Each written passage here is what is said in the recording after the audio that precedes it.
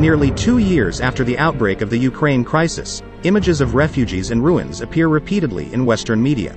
The West led by the United States accuse Russia of causing civilian casualties but itself keep adding fuel to the conflict. The information campaign and battle for hearts and minds has been as intense as in the battlefield.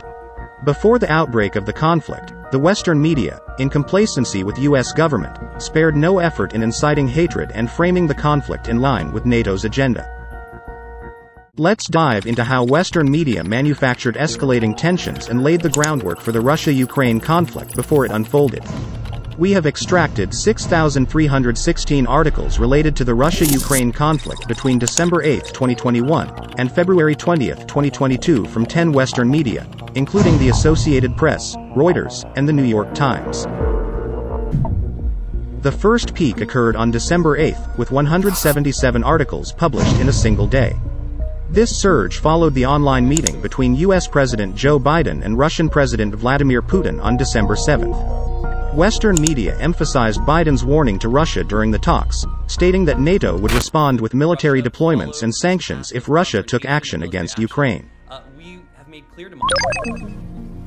Following this, Western media's attention on the Russia-Ukraine situation remained relatively low until February 11 when 284 articles appeared.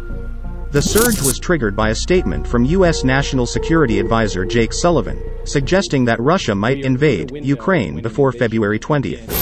The U.S. political news website Politico reported that President Biden informed European leaders that the invasion by Russia was scheduled for February 16. The day before the predicted invasion date, Western media reported over 600 articles related to the Russia-Ukraine conflict, more than seven times the recent daily average. As we moved past February 16 without any notable incidents, Western media quickly shifted gears, now speculating about potential conflict dates on February 19 and 20. The coverage remained consistently high during this period, portraying a sense of synchronization and preparedness among Western media outlets for the anticipated significant conflict. A word cloud from over 6,000 articles identified 34 most frequent keywords. With Russia, Ukraine, the United States, and NATO at the center, and a particular emphasis on the alliance between NATO countries and the United States.